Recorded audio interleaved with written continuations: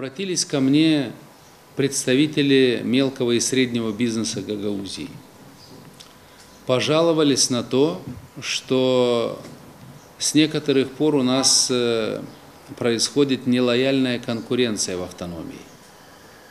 Кишиневские компании открывают здесь свои филиалы. Мы ничего против этого не имеем, это соответствует закону.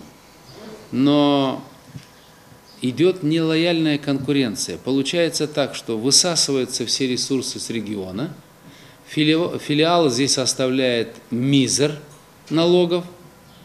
Когда дело касается проверки, наша налоговая инспекция доблестная, филиалы не суется и не идет и не проверяет, как там просроченные продукты продают, как там продают по э, просроченные там э, моющие средства и так далее, и так далее. А наша налоговая инспекция идет и проверяет экономических агентов из Гагаузии. Штрафует их, посты выставляет, потому что на филиал он пост не может выставить.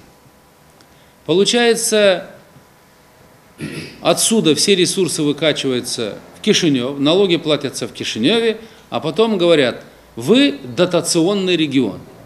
Давайте-ка пусть они зарегистрируются как экономические агенты здесь, мы ничего против не имеем, чтобы они имели э, головную компанию в Кишиневе. Но будьте добры, зарегистрируйте свою компанию на территории автономии, платите все налоги здесь, как положено. И пусть это будет конкуренция действительно реальная. Мы то, что сегодня наблюдаем, уже пошел процесс выдавливания мелкого и среднего бизнеса из Гагаузии – и вот эти мощные компании, которые в Кишиневе уже монополизировали, используя политическую крышу и олигархические группы, монополизировали полностью все сектора, они уже распространяются по всей территории, уже в Гагаузии лезут. Таким образом вытеснят всех мелкий средний бизнес и наш э, местный вытеснят. А это люди, которые работают, платят налоги, живут здесь, Поэтому условия должны быть равны. Поэтому, господин Фролов, подготовьте мне список. Все компании, которые открыли здесь филиалы, особенно это касается торговых точек. Производство, все, мы не трогаем производство. Но там, где касается торговли, я хочу проанализировать, в каких секторах, сколько торговых предприятий, где эти компании расположены – они здесь зарегистрированы или просто зарегистрированы здесь как филиал? Сколько они платят налогов?